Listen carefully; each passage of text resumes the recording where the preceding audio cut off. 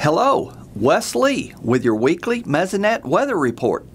Fall arrived on September 22nd, and with it came the first strong cold front of the season. On Wednesday morning, temperatures dropped well below freezing in the higher elevations of the northwestern states.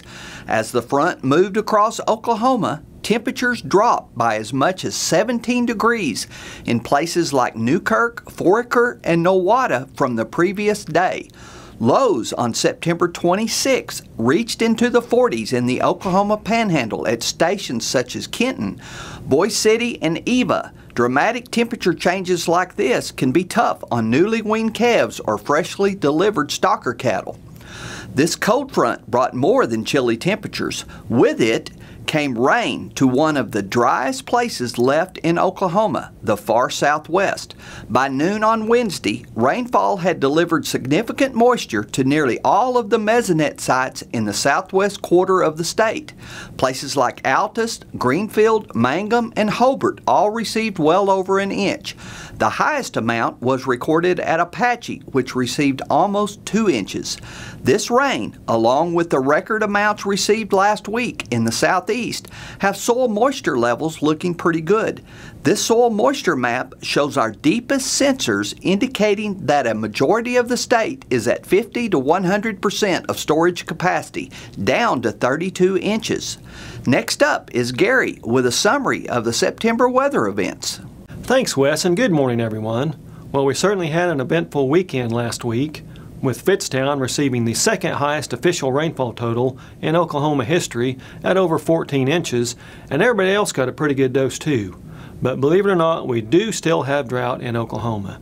Let's get right to the drought monitor map and see what we have. Well, we still have those two core areas of drought uh, down in southwestern Oklahoma. For northeastern Oklahoma, that area is solidly uh, severe drought centered on Osage and Washington counties. Uh, but we also have that moderate drought and abnormally dry conditions surrounding that area, uh, and those are areas that are going into drought. So we definitely need some rainfall in those areas. And we'll take a look at the rainfall map from the Mesonet for September, and I'll show you why we still have drought in those areas, and also out in the far western panhandle. Well, the rainfall map for September from the Mesonet for the 1st through the 25th does show a really large area of rain across the southern two-thirds of Oklahoma, really from 4 to 8 inches are widespread. And then the humongous total from Fittstown of 18.7 inches. Certainly one of the highest September rainfall totals in Oklahoma history. Let's go to the departure from normal rainfall map uh, for southwestern Oklahoma, the western panhandle up into northeastern Oklahoma.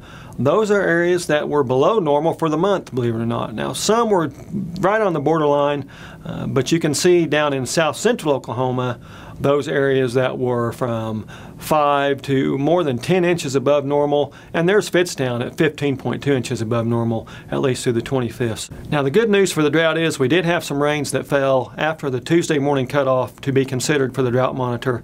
So look for more improvements uh, in the next map uh, Thursday. That's it for this time. We'll see you next time on the Mesonet Weather Report.